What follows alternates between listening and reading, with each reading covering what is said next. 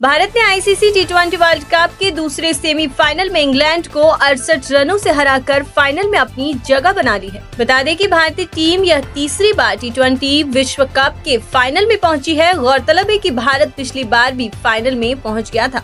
इस मैच में भारतीय टीम ने पहले बल्लेबाजी करते हुए एक सौ इकहत्तर रन बनाए, जिसके जवाब में इंग्लैंड एक सौ तीस रन बनाकर ऑल आउट हो गई मैच की तरफ़ गौर करें तो इस मैच में अक्षर पटेल और कुलदीप यादव ने तीन तीन विकेट लिए, जबकि बुमराह के खाते में दो विकेट आई जबकि इंग्लैंड की पारी में हैरी ब्रूक सबसे अधिक रन बनाने वाले बल्लेबाज बने। उन्होंने 25 रनों की पारी खेली थी। उसके अलावा जोस बटलर ने 23 रनों की पारी खेली, जबकि जोफ्रा आर्चर ने इक्कीस रनों की पारी खेली। इस मैच के प्रदर्शन के बाद ऐसा लगता है कि भारत ने 2022 में मेलबर्न में हुए हार का अपना बदला ले लिया।